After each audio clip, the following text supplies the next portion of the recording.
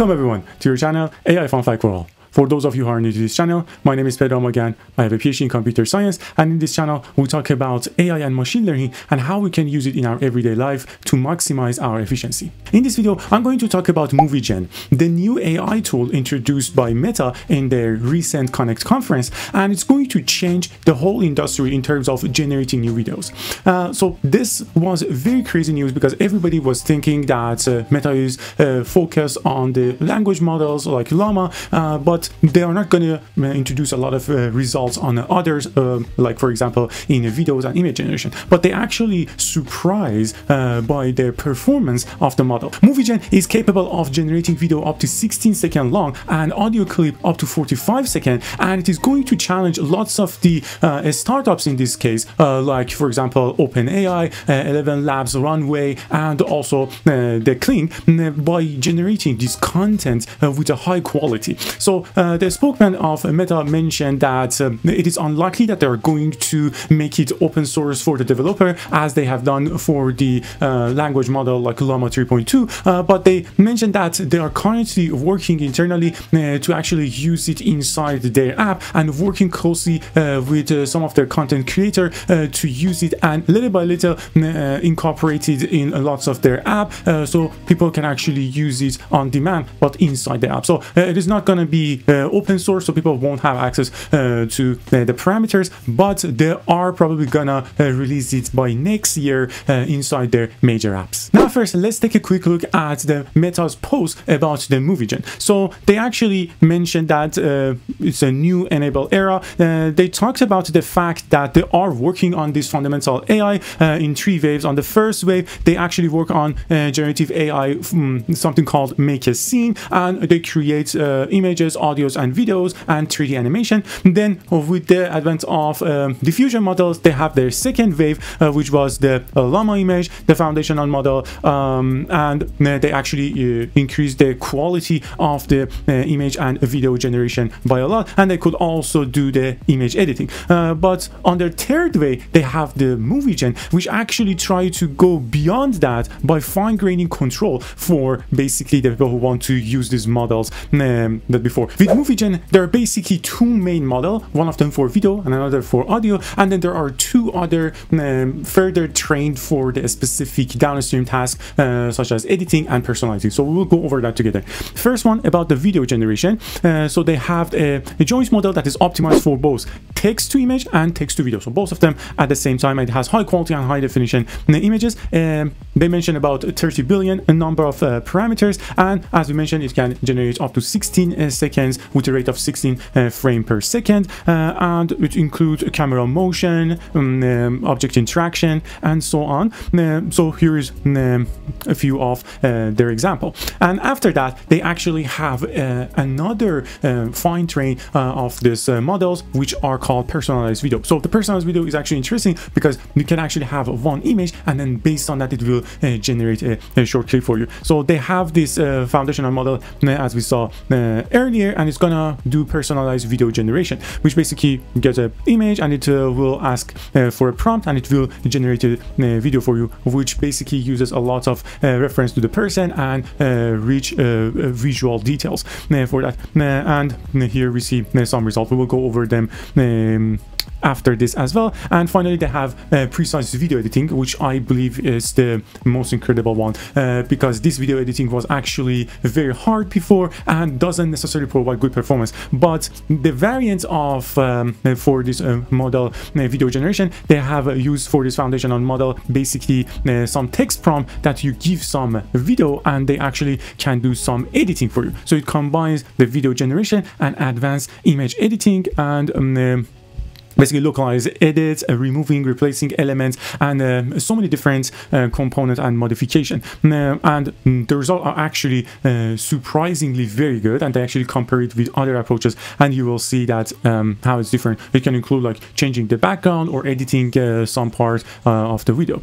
And finally they have another foundational model for audio generation. So this one is going head to head with the Eleven Labs. And um, this is actually very incredible. You can generate up to 45 seconds of audio that matches catches uh, not only just the video but different actions or sequence of action inside that video. So it is a 30 billion parameter uh, that can take a video and generate high quality high fidelity audio up to uh, 45 seconds uh, and it can generate uh, instrumental background and introduce audio extension um, for arbitrary basically videos. And these are going to be actually aligned with the content. So we will take a look at um, the video together as well. Um, and finally they actually uh, compare the results with uh, some of the uh, other state of the art model. For example runway um, uh, Picolab uh, and Kling, OpenAI Sora, and other things. And uh, they actually uh, basically compare uh, what are the win rates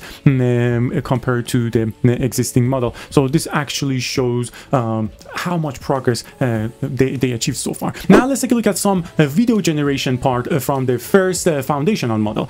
so for this one, you see that a man shirtless man is actually trying to basically work with the fire. I want you to look at the the detail so that's basically where these models are actually filled. So you see that as as this one is uh, is spinning you see basically the lighting around the ground is um, compatible with where the actual fire is uh, close to the ground. So that is actually uh, something uh, interesting. And then also look at the lighting uh, around the uh, person's body which is also compatible. And then so the things that you need to focus a lot in these cases are basically the physics which basically means that does this movement actually align uh, with what would uh, technically happen. Uh, you can take a look at this video right now that um, there is a basically the slot inside uh, this tube uh, and then as it's moving the sun is going over the shade and it is very much compatible with how it basically would look like. You see the reflection of the water you see the um, vegetables and everything around. That actually make a lot of sense. I also want you to look at this one a monkey inside uh, basically this natural uh, hot spring uh, look at the fingers. So the, the, small details these are the things that um, sometimes does not provide good performance in lots of uh, generative AI models. Uh, but you see that not only the the fingers looks good they also look um, make sense when they actually are below the water. Uh, another video is basically another very hard to generate is when you have a kid that is running with a kayak on his hand. Um, so the most important part is the legs. They, they should be kind of compatible uh, with the movement and actually looks very good. Uh, there are not uh, any sort of inconsistency. And then look at the shadows as well, uh, which basically uh, work, um, makes sense with the fact that uh, the, the keyed movement and also the kayak movement or the dynamic of the kayak um, is basically mm, making sense that, okay, so this is how a kayak would possibly work. Moving on to the next part, let's take a look at some of the video editing tools. Um, in here, we see the uh, original video and we have um, uh, different uh, text inputs. So we want to have a fire sparkles in his hand. We want to change the background to an outdoor or we want to change the sky to northern lights. So uh, the special part I want you to look at the fire uh, and as, as the fire come closer you see the reflection of the light inside the uh, person face so this is actually uh, very incredible um, and also here's another video so we have um, the original video and then we have uh, basically the text input that we want to have a, a blue poem uh, on its hand. So uh, the fact that the poem uh, is basically moving with the uh, juggling of, of the person and how it is actually compatible with it um, it is very incredible. Uh, and also um, the the movements of the feet uh, also makes sense.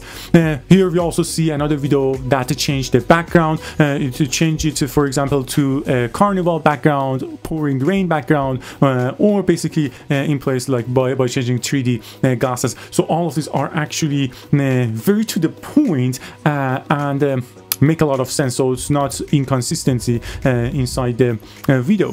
The next part is a personalized video generation. So this one is going to be used a lot uh, because it has the uh, personalized use case and we can actually see a lot of benefit of it uh, using inside the platform like instagram uh, facebook and so on which you can basically create something from your own images. So this is going to be very interesting. So here we have an image and then ask a prompt for example in the laboratory history uh, and you see that it the, the mimic of the face and everything looks perfectly like uh, the reference image. This is actually very incredible. Or here is another one um, a woman uh, sitting on um, a horse uh, and the lighting the changes of the face and everything uh, looks really good. Now the last one which is the most exciting one and kind of blew my mind is the uh, audio generation. So uh, we see that it can generate up to 45 seconds given the input images and it is also important to take a look at the fact that um, it will be synchronized with different actions of that uh, uh, specific video. So it is not just having a background that makes sense. It's basically something that for each of the sequence or or the events that is happening inside the video uh, the sound will basically match on that. Let's uh, take a look at uh, the videos together